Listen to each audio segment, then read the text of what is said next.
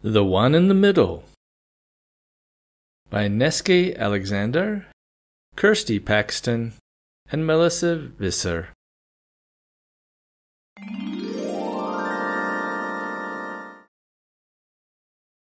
I am the middle one, not the firstborn, not the lastborn, the one in the middle.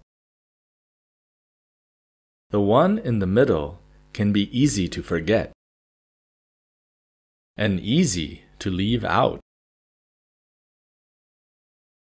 But that's okay because I am also the one with ideas. Look what I can make from just this cardboard box a beautiful house with real doors and windows.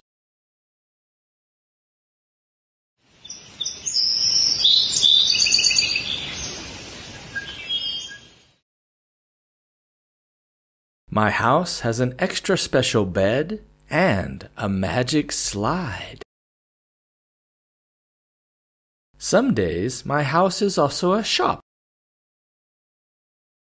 And on other days it's a very fantastic show.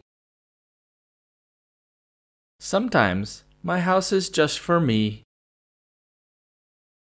And sometimes it's a house for three.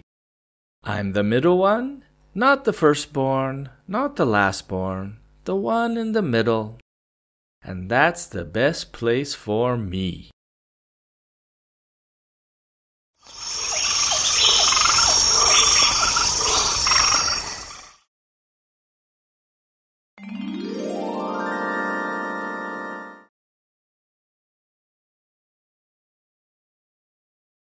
Read by Jim Damico at anglihel.com.